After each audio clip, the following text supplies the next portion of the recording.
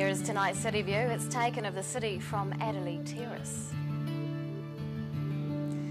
And around the city at 3 o'clock today, 14 degrees for the central city, 15 at the gardens and 17 for the Taieri. To the situation, and there's a nor'east flow over the country at the moment. A ridge of high pressure will spread over the South Island for the weekend. Around the region for tomorrow, one word describes it for a lot of places, and that's fine for Queenstown, Oamaru, and Alexandra.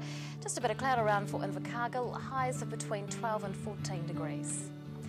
Here in Dunedin tonight, any cloud remaining will clear. Tonight's low 4 degrees, a little nippy. Mostly fine and sunny tomorrow with light northerlies and a high of 11. And on Saturday, northerlies freshening with high cloud increasing, go for a high of 11 as well. And on to tidal and fishing information. Low tide tomorrow morning is at 10 to 12. High tide follows at 25 past 5. And fishing conditions will be good at around 10 past 2 tomorrow afternoon.